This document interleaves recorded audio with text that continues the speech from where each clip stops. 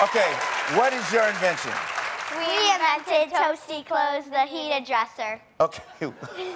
say, say it one more time. We invented toasty clothes, the heated dresser. Okay, I heard you the first time. I just thought it was so adorable. I just wanted to hear it again. So, what exactly does your invention do? Well, we come from Buffalo, New York, so it's really cold there, so now we want warm clothes. So, it's a heater in the cabinet for the clothes? Yeah. How does, how does it work? Okay, well, there, the top three drawers have heating pads inside that warm up your clothes. Would you like to feel? Yes. They're, they're warm. I don't know why I'm so surprised. They just told me four times what it does, but that's so nice and toasty. Wow, that's, that's uh, terrific. How did you come up with the idea?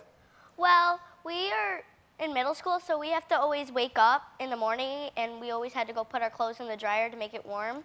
But now we just have this, so we can be warm now.